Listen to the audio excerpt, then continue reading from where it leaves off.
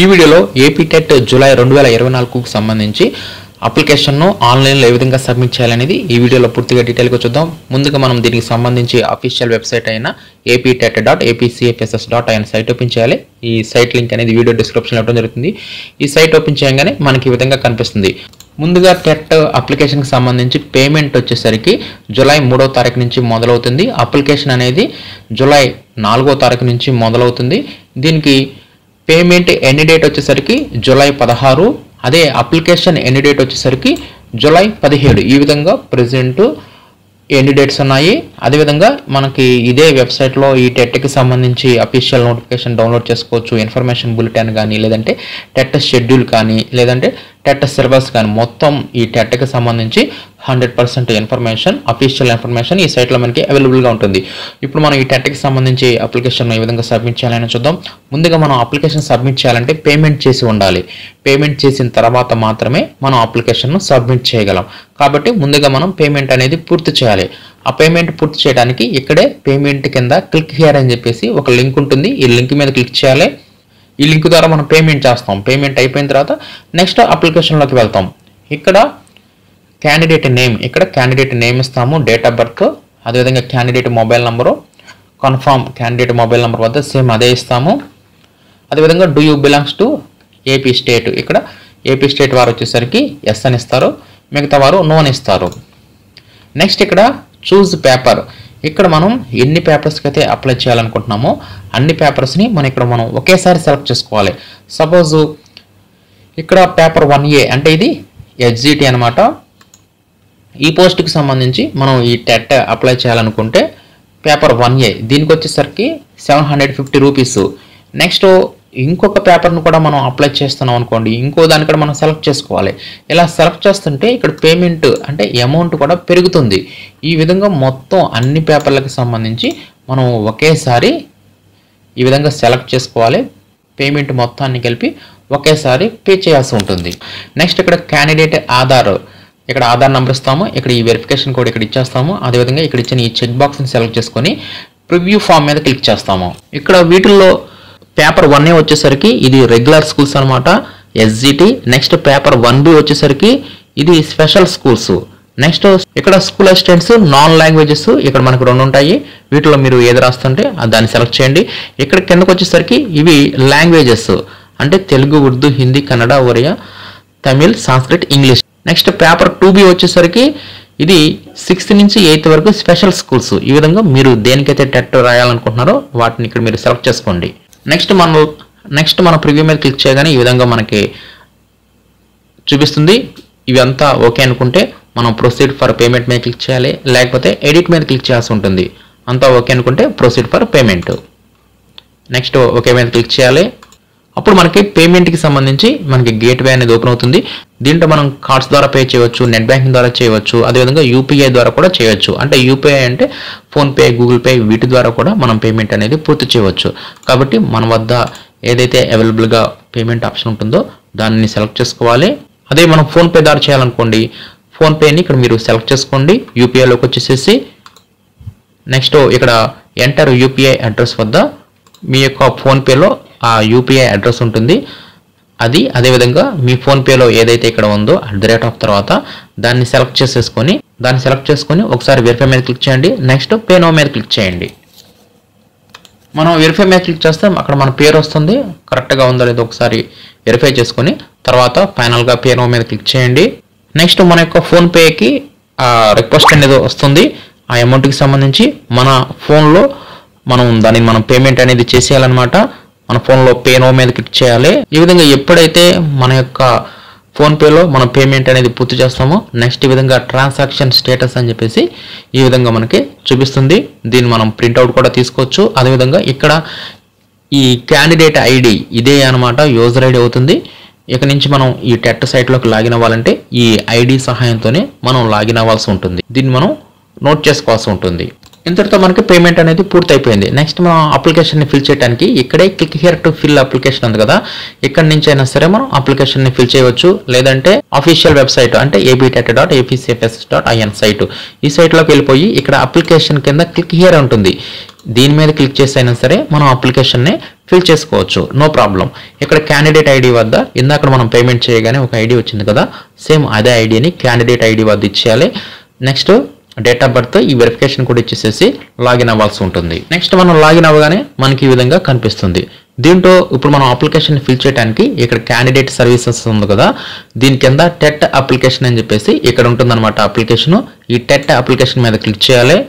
దీంట్లో ఇక్కడ ఉన్న ఈ డిక్లరేషన్ని సెలెక్ట్ చేసుకోండి. Are you appearing for professional course exam this year అంటే ఫైనల్ సెమిస్టర్లో ఎవరైనా ఉంటే ఆ స్టూడెంట్స్ ఇక్కడ ఎస్ అని చెప్పిస్తారు. అప్పుడు ఆ ఫైనల్ ఎగ్జామ్కి సంబంధించి హాల్ టికెట్ నెంబర్ని ఇక్కడ ఎంటర్ చేయాల్సి ఉంటుంది. మిగతా వారు నో ఇచ్చేసేయండి. ఈ విధంగా ఫైనల్ ఇయర్ చదివేవారు ఈ విధంగా ఇవ్వండి. మిగతా వారు నో అని చెప్పి ఇవ్వండి. నెక్స్ట్ ఇక్కడ నో అని చెప్పి ఇవ్వగానే మనకి ఈ విధంగా వస్తాయన్నమాట. Have you appeared TET cum TRT exam ఇదివరకే మీరు టెట్ కామ్ టీఆర్టీకి ఇదివరకు మనకి జరిగిందనమాట టెట్ కామ్ టీఆర్టీ ఆ ఎగ్జామ్ కనుక మీరు రాసి ఉన్నట్లయితే ఎస్ అని చెప్పేవండి అప్పుడు ఆ hall ticket number year month ఇక్కడ మనం ఇవ్వాల్సి ఉంటుంది. మీరు ఈ టెట్ కమ్ టీఆర్టీ ఇదివరకు రాసి ఉండకపోతే నో అని చెప్పి ఇచ్చేసేయండి. Next have you appeared previous AP TET exams అదేవిధంగా మనకి ఏపీ టెట్ ఎగ్జామ్స్ జరిగాయి. ఎప్పుడెప్పుడు అంటే ఇక్కడ మనకి క్లారిటీగా ఇచ్చారనమాట జూలై రెండు వేల పదకొండు జనవరి రెండు వేల పన్నెండు మే రెండు వేల పన్నెండు సెప్టెంబర్ రెండు వేల పదమూడు డిసెంబర్ రెండు వేల పదిహేడు మే రెండు వేల పద్దెనిమిది ఆగస్టు రెండు వేల ఇరవై రెండు ఫిబ్రవరి రెండు వేల ఇరవై నాలుగు. ఇవి కనుక మీరు ఇదివరకు రాసి ఉన్నట్లయితే మీరు క్వాలిఫై అయి ఉన్నట్లయితే వాటికి సంబంధించి హాల్ టికెట్ నెంబర్స్ అని ఇక్కడ ఇవ్వండి. లేదు మీరు ఇప్పటి వరకు అసలు ఈ ఏపీ టెట్ ఎగ్జామ్స్ మీరు రాయకపోతే లేదంటే క్వాలిఫై అవ్వకపోతే నో అని చెప్పి ఇచ్చేసేయండి. నెక్స్ట్ ఇక్కడ అప్లికేషన్ డీటెయిల్స్ వద్ద ఇక్కడ నేమ్ ఆఫ్ అప్లికెంట్ అనేది ఆటోమేటిక్గా వచ్చేస్తుంది. దీన్ని మనం ఎడిట్ చేయలేము. ఇది పేమెంట్ నుంచి ఈ పేరు వచ్చేసింది. నెక్స్ట్ ఇక్కడ మనం జెండర్ని సెలెక్ట్ చేసుకోవాలి. నెక్స్ట్ డేట్ ఆఫ్ బర్త్ కూడా ఆటోమేటిక్గా వస్తుంది. నెక్స్ట్ ఇక్కడ మనం ఫాదర్ నేమ్ ఇవ్వాలి మదర్ నేమ్ ఇవ్వాలి. అదేవిధంగా ఇక్కడ మనం కమ్యూనిటీని కూడా సెలెక్ట్ చేసుకోవాలి. నెక్స్ట్ ఈజ్ డిఫరెంట్లీ ఏబుల్డ్ ఎవరైనా పిహెచ్ ఫిజికల్లీ హ్యాండిక్యాప్డ్ పర్సన్స్ ఉంటే ఇక్కడ ఎస్ అని చెప్పి ఇవ్వండి. అలా ఇస్తే ఇక్కడ విజువల్లీ హ్యాండిక్యాప్డ్ లేదంటే హీరింగ్ ఇంపేర్డ్ ఆర్థోపెడికల్లీ హ్యాండిక్యాప్డ్ ఈ విధంగా కేటగిరీస్ వస్తాయి. మీరు దేనికి సంబంధించిన వారైతే దాన్ని సెలెక్ట్ చేయండి. ఇలా సెలెక్ట్ చేయగానే ఆటోమేటిక్గా కింద కూడా ఆ పర్సంటేజ్ అడుగుతుంది. మీరు ఏ పర్సంటేజ్లో ఉన్నారు అనేది ఇక్కడ మీరు పర్సంటేజ్ కూడా సెలెక్ట్ చేసుకోవాలి. ఈ విధంగా ఫిజికల్ హ్యాండిక్యాప్డ్ వారు ఈ ఆప్షన్స్ అని మీకు ఏవైతే అప్లికబుల్ అవుతుందో వాటిని సెలెక్ట్ చేయండి. అదేవిధంగా వారికి స్క్రైబ్ రిక్వైర్డ్ ఏమైనా అవసరం అయితే స్క్రైబ్ కూడా ఇక్కడ ఎస్ అని చెప్పి ఇవ్వండి లేదనుకుంటే నో అని చెప్పి ఇవ్వండి. ఇది కూడా ఫిజికల్లీ హ్యాండిక్యాప్డ్ పర్సన్స్కి సంబంధించిన ఆప్షను అసలు ఫిజికల్లీ హ్యాండిక్యాప్డ్ కాకపోతే నో అని చెప్పి ఇచ్చేసేయండి. నెక్స్ట్ ఇక్కడ క్వశ్చన్ పేపర్ అనేది మీరు ఏ మీడియంలో రాయాలనుకుంటున్నారో ఆ మీడియంని సెలెక్ట్ చేసుకోండి. అంటే డిఫాల్ట్గా ఇంగ్లీష్ అనేది డిఫాల్ట్గా ఉంటుంది. ఇక్కడ ఇంగ్లీష్ అనేది డిఫాల్ట్గా ఉంటుంది. ఇంగ్లీష్తో పాటు మీకు నెక్స్ట్ ఏ లాంగ్వేజ్ కావాలి? హిందీనా కన్నడనా ఒరియానా తమిళ తెలుగు ఉర్దూనా? ఈ విధంగా ఇచ్చేసేయండి అనమాట ఇంగ్లీష్ అనేది ఆటోమేటిక్గా వస్తుంది. No problem. ఇంకా అదనంగా తెలుగు మీడియంలో కూడా మీకు పేపర్ రావాలనుకుంటే తెలుగు సెలెక్ట్ చేసుకోండి. నెక్స్ట్ మ్యాండేటరీ క్వాలిఫికేషన్స్ అని చెప్పేసి ఇక్కడ మీకు ఏదైతే అప్లికబుల్ అవుతుందో మీ యొక్క క్వాలిఫికేషన్ని ఇక్కడ మీరు సెలెక్ట్ చేసుకోండి. ఇక్కడ మీ యొక్క క్వాలిఫికేషన్ ఎంటర్ విత్ డిఎడ్ అయితే ఈ ఫస్ట్ ఆప్షను. ఈ సెకండ్ కూడా ఇంటర్మీడియట్ విత్ డిఎడ్ఏ నెక్స్ట్ ఈ థర్డ్ వచ్చేసరికి ఎంటర్ విత్ బిఎల్ఈడి నెక్స్ట్ ఈ ఫోర్త్ వచ్చేసరికి ఇది స్పెషల్ ఎడ్యుకేషన్ ఎంటర్ విత్ ఇది ఎవరైతే స్పెషల్ ఎడ్యుకేషన్ ఎవరైతే స్పెషల్ ఎడ్యుకేషన్ చేస్తారో వారిది. నెక్స్ట్ లాస్ట్ వచ్చేసరికి గ్రాడ్యుయేషన్ విత్ డిఎడ్ ఈ విధంగా మీ యొక్క కోర్స్ అనేది వీటిలో దేనికైతే అప్లికబుల్ అవుతుందో దాన్ని మీరు సెలెక్ట్ చేసుకోండి. నెక్స్ట్ ఇక్కడ పర్సనల్ డీటెయిల్స్ నెక్స్ట్ ఇక్కడ పర్సనల్ డీటెయిల్స్ వద్ద ఇక్కడ మన యొక్క జిల్లాని సెలెక్ట్ చేసుకుంటాము. ఇక్కడ పాత జిల్లాల ప్రకారమే ఇవ్వడం జరిగింది. ఇక్కడ డిస్టిక్ మండలం village next door number street pin code ఇవి ఇవ్వాలి. ఇక్కడ మొబైల్ నెంబర్ ఆధార్ నెంబర్ ఆటోమేటిక్గా వచ్చేస్తాయి. ఈమెయిల్ ఐడి కూడా ఇక్కడ మనం కంపల్సరీగా ఇవ్వాలి. Next SSC hall ticket number కూడా ఇక్కడ మనం ఇవ్వాలి. Are you ex service man వద్ద ఇక్కడ ఎవరైతే ఎక్స్ సర్వీస్ మ్యాన్ అయి ఉండి మీరు ఎగ్జామ్ ఇప్పుడు రాస్తుంటే వారు ఎస్ అని చెప్పి ఇవ్వండి. మీరు కనుక ఎక్స్ సర్వీస్ మ్యాన్ కాకపోతే నో అని చెప్పి ఇచ్చేసేయండి. నెక్స్ట్ ఇక్కడ ఎగ్జామ్ సెంటర్ డీటెయిల్స్ వద్ద ఇక్కడ ప్రిఫరెన్స్ ఇవ్వాల్సి ఉంటుంది.